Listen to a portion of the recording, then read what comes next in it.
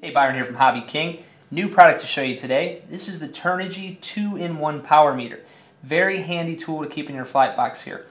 Most power meters you see just feature one channel, and that will be like what you see here with your uh, input and output leads. This is for testing power systems, so uh, great for testing your motor and ESC and your uh, model.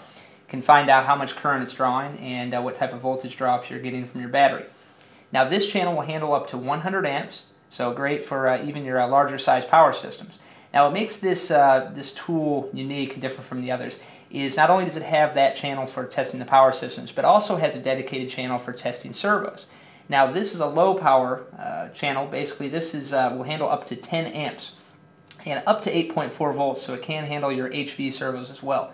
Now you can see we've got a servo connected currently to this, and this will show you your amps, your voltage, that's our input from our ESC, and uh, your power, of course, so it's your wattage. Also, it will record the max amp and uh, the minimum voltage during the testing. So, very, very nice features. Now, we'll work the servo here so you can see the amp figure changing.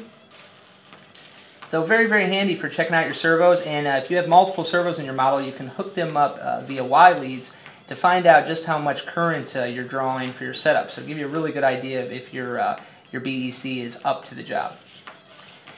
One other thing worth mentioning, as you can see here, which is very nice, is the large display. It's a 1.5 inch backlit full color TFT display. So very cool guys, very handy tool, great price. This is actually selling for less than $20. So can't beat it for the price. You definitely want to take a look at it on the website. Uh, check the product listing. You'll find the full product specifications in that listing. So thanks for watching. Be sure to subscribe to our YouTube channel to keep up to date with all the new products. Thanks for watching.